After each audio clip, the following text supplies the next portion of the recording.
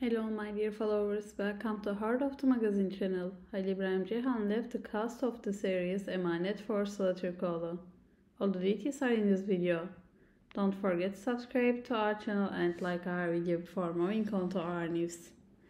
Halil İbrahim Ceyhan and Sıla Türkoğlu are two famous Turkish actors who are close friends and lovers. This duo started to act in the famous TV series Emanet.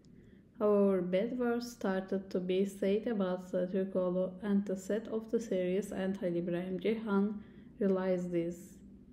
Halil İbrahim Ceyhan could not handle this negative event on the set of the series and decided to leave the series.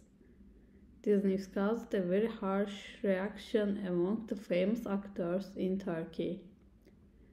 Considering the love and respect between the two famous actors, the Bedford's fate are unacceptable.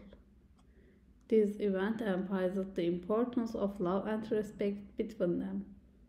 Those who consider the love between Halil İbrahim Ceyhan and Sıla Türkoğlu said that their separation in the series Emanet was met with sadness.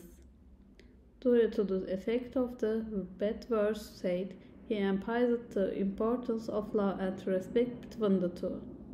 Halil İbrahim and Sıla do not seem to have made any statements after this incident. However, the love, respect, and friendship between these two famous actors will always remain strong. The Escrow series will continue to be broadcast after this event. Halil İbrahim Ceyhan really loves Sıla Türkoğlu. This behavior of Halil İbrahim Ceyhan for Sıla Türkoğlu is very valuable. We hope the two never lose this love for each other. We have come to the end of our video. Thank you all for watching my video. Bye. I love you.